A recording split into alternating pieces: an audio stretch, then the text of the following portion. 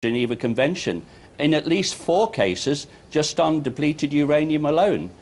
And as uh, Mr. Duff pointed out, tactical nuclear weapons were used, at least one in Iraq, and several were used in Afghanistan in the Tora Bora Mountains, which actually mm. created an earthquake at the time.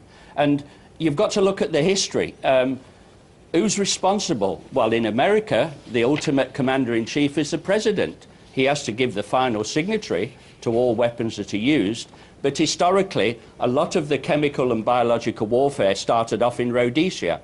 And, and when the uh, regime went from white to black, Maggie Thatcher panicked and decided to move the whole shebangle and the staff mm. all the way down to South Africa, where, where that uh, research and development was continued. They even developed a black only bomb that targeted the Afro gene. And there's even talk now there may be one for the Chinese gene. You know, this is absolute insane.